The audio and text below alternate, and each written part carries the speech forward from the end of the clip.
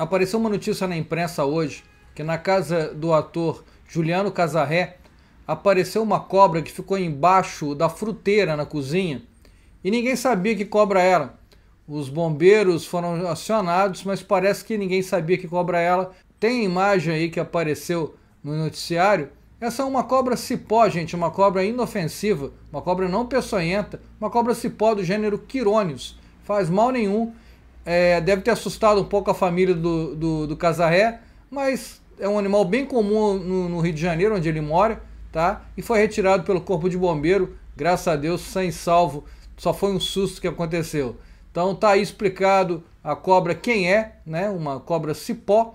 E se você quiser saber mais sobre serpente, acompanhe aqui o Papo de Cobra, se inscreve aqui no canal e fica com a gente. Grande abraço!